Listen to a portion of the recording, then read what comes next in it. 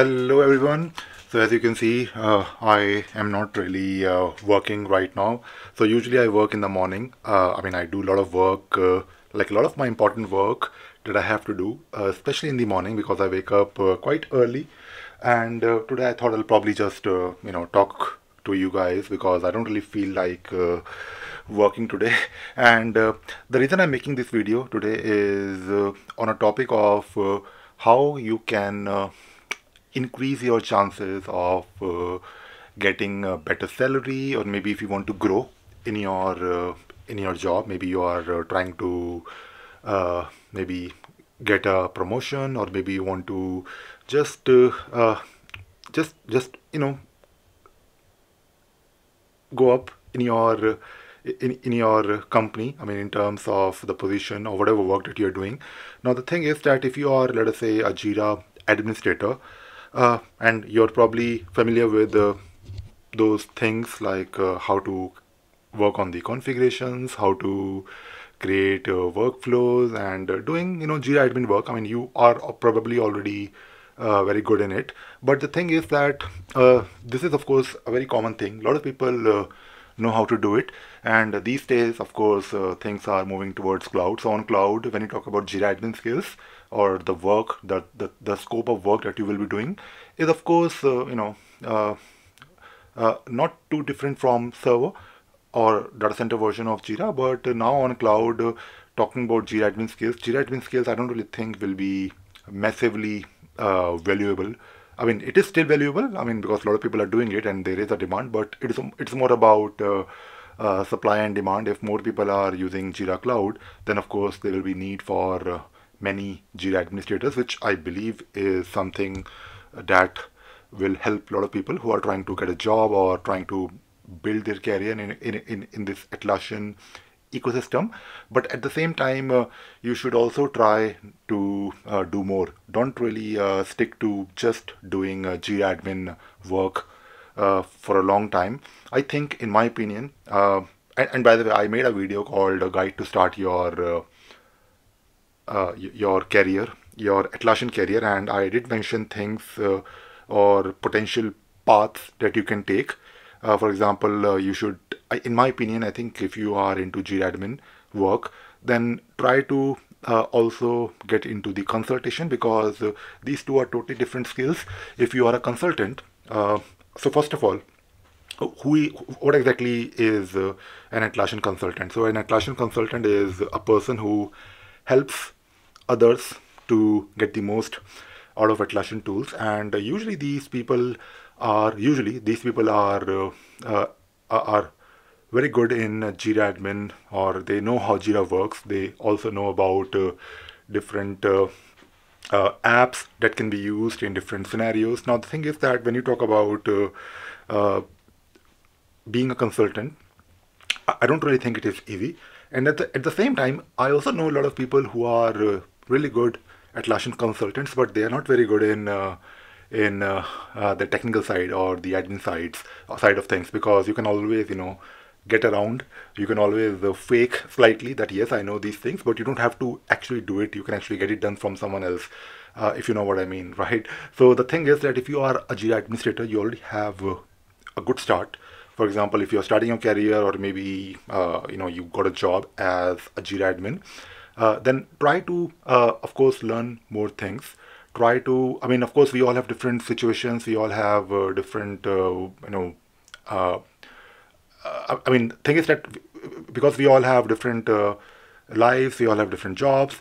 We we we will never really get the same uh, opportunity like others. So things are definitely going to be different for everyone. But at the same time, you should try to do whatever you can uh, within your uh, within your limited uh, uh, uh, maybe set of opportunities. Now, if you are a Jira administrator and you could be on Jira Cloud or Jira Admin, but what you should try to do is maybe try to learn things on the automation side. Th- this is what I always promote because I think when you have these skills, you can actually.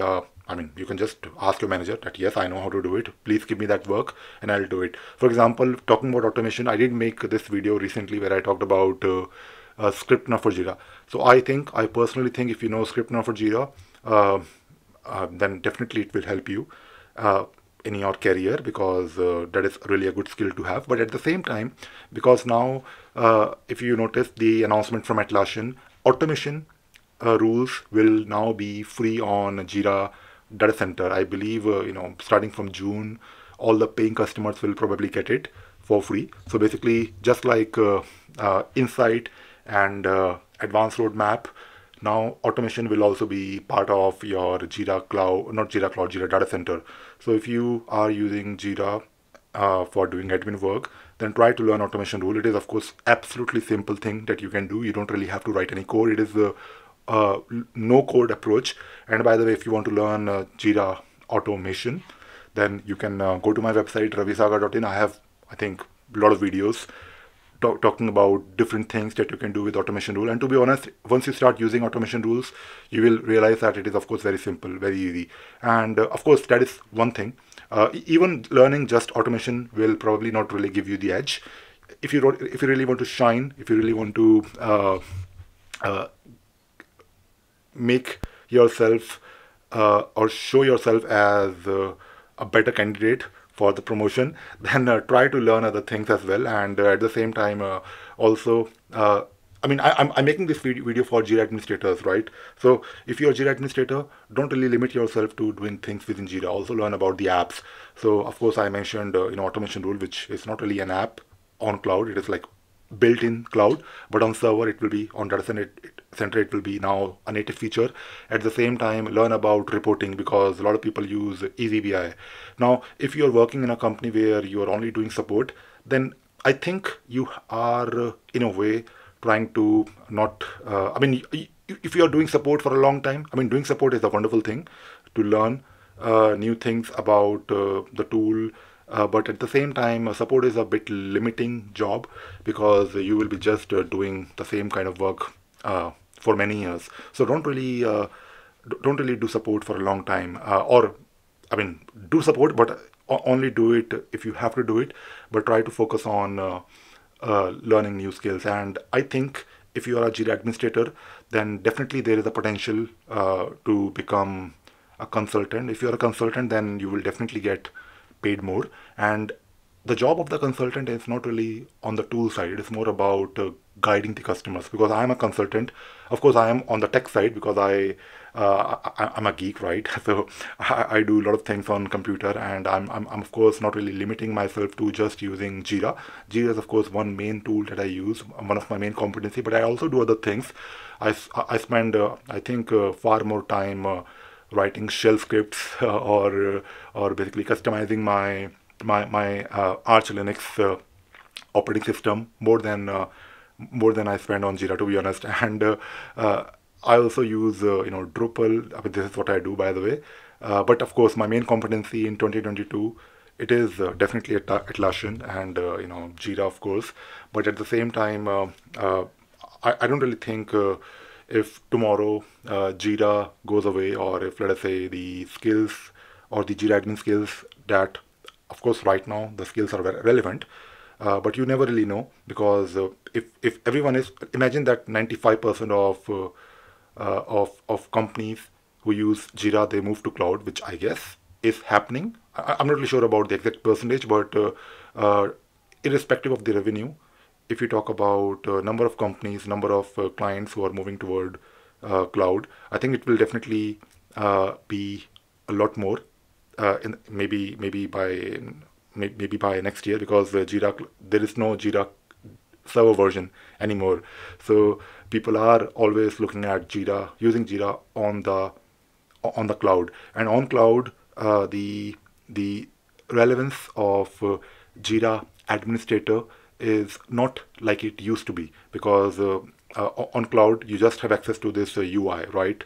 Uh, you don't really have access to the Java APIs you don't really have, have access to the to the server and uh, I think it is easy for anyone to pick up Jira Cloud administration but at the same time uh, if it is easy then it, it also means that there will be a lot of people doing it right? So my job or my responsibility on this channel because you know you guys follow my videos, you send me messages, and you ask me questions, I have to be honest with you that uh, uh, if you are uh, learning Jira Cloud Administrator, great. Uh, it's easy to learn, but but but if it is easy, then it, it also means that there are a lot of other people who are like you. So you, if you have to shine, if you have to add uh, more skills, then uh, try to become a consultant. Try to also expand your your, your your skills uh, and don't limit yourself to just uh, modifying workflows and creating issue types and uh, permission schemes in Jira. That is great, that is wonderful, but uh, that is not what you want to do uh, for five years of your life. And uh, to be honest, I don't really think. I mean, just to give you my example, I don't even remember the last time I made an issue type scheme or workflow scheme. I mean, to be honest, I don't really remember like if I did any like proper Jira admin configuration in, in, in, the, in the last few months or in the last six months. I mean, of course, I do it uh, whenever I have to, but uh, uh I'm a consultant. I'm more focused on uh, guiding my customers, and at the same time, uh, if I have to, uh, let us say, write a script, I will write a script. But at the same time, I don't really do it all the time. I mean, I, I'm not really. I mean, I used to be a Jira admin, which I still am, but this is probably like only like five percent of or ten percent of if I look at my activities from like from the start in the morning, I do very little Jira admin work to be honest, and uh, uh, I'm just sh- sharing this and making this video because uh, I think uh, a lot of people are moving toward uh, uh, Atlassian tools in terms of their career. They are also trying to explore whether whether they can build their career in this particular ecosystem. Yes, you can, and if you watch my guide to start your Atlassian career video, I of course tried to explain uh, the whole process. So, uh, so do it. Uh, start learning Atlassian tools. May- maybe you know. I mean, you don't. To be honest, I I don't really think you have to like uh, do a course. Uh, if you're if you're an individual and if you if you have time, I think uh, you can do everything on your own. These days, it is so so simple and easy. Just go and sign up for a free cloud instance, start using it, start modifying it, uh, and of course uh, learn various things that you can do with it. Also go to the community and also make videos if you want. Uh, and if you are watching this video and if you want to be part of my channel maybe you know reach out to me. We can probably you know make a video together. I mean i do it sometimes whenever i have time but usually i'm very busy with my work. But whenever whenever i get the opportunity to uh, talk to other people i do that. And I, at the same time i would love to uh, invite you on my channel if you want to share something or if you want to just you know have a conversation with me i would love to do that. So reach out to me. So that is that is basically all i wanted to uh, talk about in this video. Uh, don't limit yourself to only jira administration. Right? All right. That is all. That is all. Bye bye